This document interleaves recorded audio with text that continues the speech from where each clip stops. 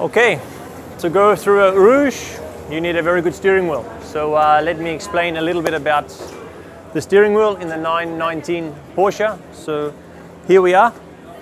It's uh, quite complicated as you can see. Very, very uh, important that the driver is comfortable with this wheel through all conditions in the cockpit. Obviously, uh, we have a lot of switches starting with on the front. Let's, uh, let's go through uh, the display page, which here I have many different options to bring up a hybrid engine, gearbox, many different temperature pages, fuel, uh, all sorts of information on the display page. So uh, when we bring up, a, if we have a, a, Charlie 23, they give us a Charlie, we go three, uh, three with these two rotaries on the outside, and then we confirm with the steering wheel. So this is a very important uh, multi-function switch to then marry up with the two rotary switches on the outside. Here we can turn the engine on and off, which is quite unique for me. In Formula One, I could not turn the engine on and off, but here I can turn the engine on and off. High beam, the, the back markers.